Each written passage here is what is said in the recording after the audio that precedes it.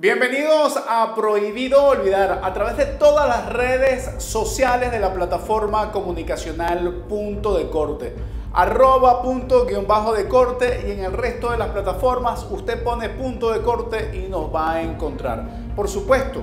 que es importante para nosotros que usted nos emita su opinión sobre nuestra programación, sobre nuestro contenido y también pueda hacer sus comentarios en las notas que encuentra en nuestra página web www.puntodecorte.net. Hoy en Prohibido Olvidar, el tema central va a girar en torno a tres años del mega apagón y la actual situación eléctrica del país. Eso lo vamos a tratar en el segundo y tercer bloque, como siempre, con una editorial, un material hecho por nuestro excelente equipo de producción y vamos a tener como entrevistado hoy a eh, Winston Cavas, que es especialista en el área eléctrica, se encuentra fuera del país precisamente por la situación de persecución y hostigamiento que fue víctima por denunciar la verdad en relación a la situación eléctrica del país. Pero en este primer bloque quiero compartir con ustedes dos elementos que creo que eh, pueden permitir abrir un análisis pertinente en relación a la situación política eh, que vive hoy nuestro país. Este primer elemento de coyuntura que quiero compartir con ustedes el día de hoy es eh, una propuesta que he presentado el día de ayer a nivel de la opinión pública, que es como consecuencia de una serie de encuentros, conversaciones, reuniones, intercambios con distintos sectores de la vida política y de la vida social venezolana. Aun cuando la propuesta la hago a título personal, eh, sepan que es una síntesis, es un ejercicio de intercambios, de propuestas eh, para tratar de movilizar un poco la agenda pública en relación con el letargo, con esta situación de semiparálisis que existe en este momento dentro de la oposición venezolana, con esa pastilla de adormecimiento que se introdujo eh, después de el aborto del referéndum revocatorio en relación con esa aspiración a el 2024, estando en el 2022. Como si no hubiese tareas en el medio, un grupo, un conjunto de gente empezó a hablar del 2024 y a bajar la guardia, a calmar todas las acciones necesarias, a eh, ensimismarse, a dedicarse a su vida de partido político eh, sin generar ningún tipo de opinión pública, ni generar, ni buscar generar, generar contradicciones a quienes hoy hacen ejercicio del poder en Venezuela de manera violenta. Es por eso que consideramos necesario tomar en cuenta varios elementos. Primero, por supuesto, asumiendo que dentro de la agenda pública la prioridad que se ha, eh, posicionado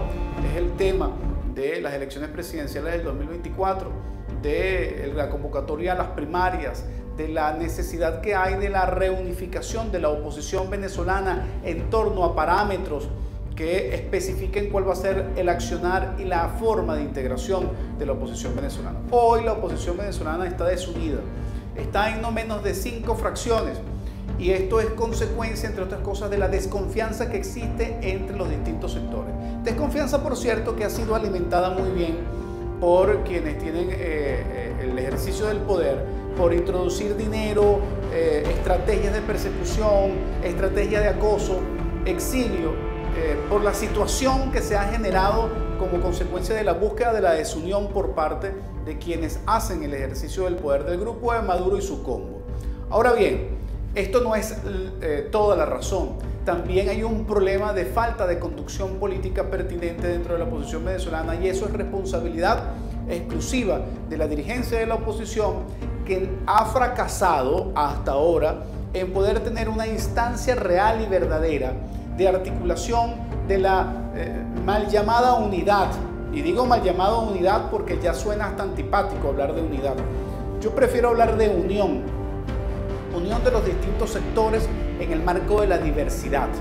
La necesidad que hoy tiene el venezolano de ver una dirigencia política opositora coherente, con una directriz y unas orientaciones más allá de la diversidad que exista y de las diversas opiniones que en democracia aspiramos que tengan cada uno de los sectores de la oposición venezolana, es lo que hoy mantiene distante a la gente de la conducción política o de la supuesta conducción política de la oposición. Generar un espacio democrático, un espacio político, un espacio de unión en la oposición venezolana hoy es fundamental y para eso eh, se requiere un reglamento porque la desconfianza entre los distintos sectores es muy claro. Un reglamento que permita que todos los sectores políticos y sociales puedan representar un voto en función del proceso decisional que se genere para la formulación de acciones futuras por parte de la oposición venezolana. Pero además, también debemos discutir claramente cuál es el perfil de la conducción que aspiramos, además del perfil del candidato que aspiramos para el 2024 en el supuesto de que haya elecciones en el 2024, ya que eh, Maduro y su combo han estado eh, negando la posibilidad o haciendo dudar de la posibilidad de unas elecciones presidenciales en el 2024. La necesidad de que haya una discusión desde las bases en relación a eh, los líderes de oposición que queremos y el candidato presidencial que deseamos, sin duda es un debate que nos debemos, porque no solamente es un nombre, es lo que proponen, es su trayectoria, es, son los elementos éticos que acompañan a quien aspira o aspire a ser candidato presidencial y participar en unas primarias. Por supuesto que las normas de las primarias tienen que ser claramente establecidas para que puedan participar todos los que deseen participar. Creo que no es una, una filosofía la restricción, sino por el contrario, mayor democrático sería el hecho de que puedan participar los más que puedan participar, pero que eso sí, quienes participen suscriben un convenio muy claro de principios básicos de ejercicio de su proceso de campaña y de gobierno, un programa mínimo que presentarle a la gente en común indiferentemente del candidato que sea. Son otras las propuestas que voy a ir desglosando a lo largo de los siguientes programas. Por ejemplo, el tema del contenido de la propuesta de los opositores eh, al país eh, con base en una serie de reformas constitucionales que deberían activarse a partir del 2025, ganando dos tercios de la Asamblea Nacional, es una discusión que nos debemos. Recortar el periodo presidencial, la doble vuelta, la posibilidad de, que no, de eliminar la reelección indefinida, son algunos de los temas que vamos a ir revisando en ese sentido. Faltando unos poco para terminar este bloque, eh, quisiera hacer mención especial de eh, los presos políticos trabajadores. Eh, requerimos prestar atención a todos los presos políticos civiles, y militares en Venezuela. Pero quiero hacer mención especial de un sector que de manera increíble, de manera surrealista,